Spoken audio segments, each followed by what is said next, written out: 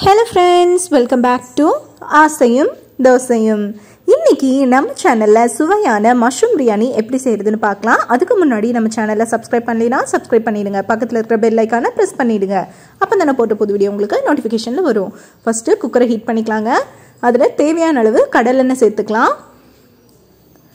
அது கூடவே நான் வந்து ஹோம்மேட் கீ சேர்த்துக்கிறேங்க. இது வந்து பஃபல்லோ கீ அதனால உங்களுக்கு ஒயிட் கலரில் இருக்குது அது வந்து நல்லா உருகி வரும்போது பிரியாணி ஸ்பைசஸ் எல்லாமே ஆட் பண்ணிக்கலாம். ஒரு பிரியாணி இலை அன்னாசி பட்டை ஏலக்காய் அதெல்லாம் சேர்த்துட்டு கால் ஸ்பூன் அளவு சோம்பு அது கூடவே ரெண்டு பெரிய வெங்காயம் நீல வாக்கில் கட் பண்ணியிருக்கேங்க. அதையும் சேர்த்து நல்லா வணக்கி விட்டுக்கோங்க.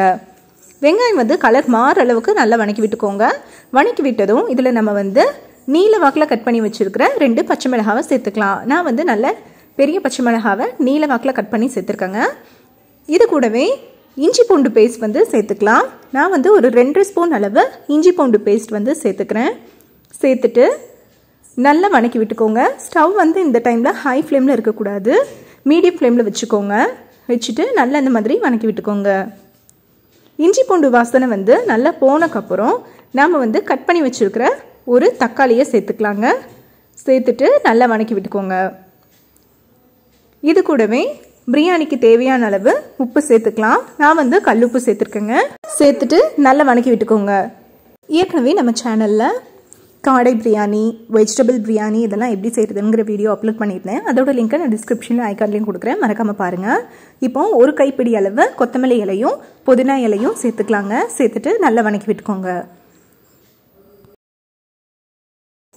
இப்போது நல்லா வணங்கிடுச்சுங்க இந்த ஸ்டேஜில் நாம் வந்து வீட்டிலையே ப்ரிப்பேர் பண்ணி வச்சுருக்கிற மசாலாவை சேர்த்துக்கலாம். நான் இன்றைக்கி வந்து இந்த பிரியாணி மசாலா தான் ஆட் பண்ண போகிறேன் இதில் வந்து ஒரு நாலு ஸ்பூன் அளவு நான் சேர்த்துக்கிறேன். நான் வந்து நாலு கப் அளவு பாஸ்மதி அரிசியை கழுவி ஒரு இருபது நிமிஷம் போல் ஊற வச்சுருக்கேங்க. இப்போ நல்லா வணக்கி விட்டுக்கோங்க.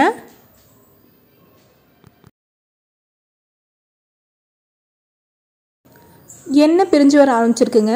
இந்த ஸ்டேஜில் நம்ம வந்து ஏற்கனவே க்ளீன் பண்ணி வச்சுருக்கிற மஷ்ரூம்ஸை சேர்த்துக்கலாம்.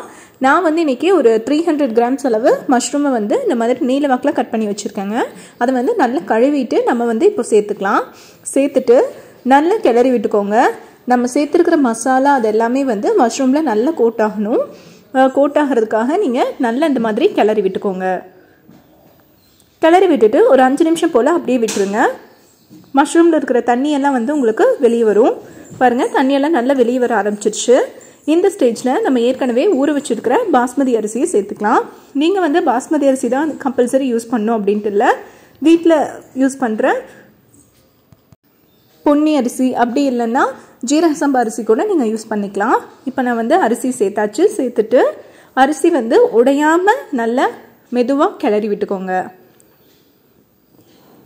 நீங்கள் ரொம்ப அழுத்தி கிளறினீங்கன்னா அரிசி வந்து ஊறினதுனால டக்குன்னு உடஞ்சி போயிடும். ஸோ இந்த மாதிரி லேஸாக கிளறி விட்டுட்டு தேவையான அளவு தண்ணி ஆட் பண்ணிக்கலாங்க.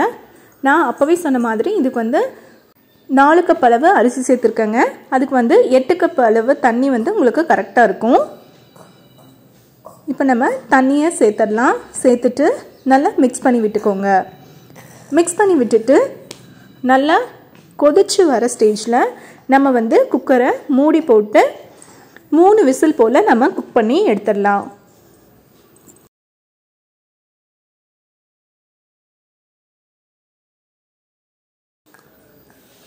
இப்போ கொதிக்க ஆரம்பிச்சிச்சு நம்ம மூடி போட்டு மூணு விசில் போல் குக் பண்ணிடலாங்க.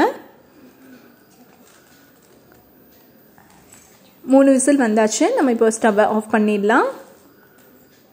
சுவையான மஷ்ரூம் பிரியாணி. தயார்.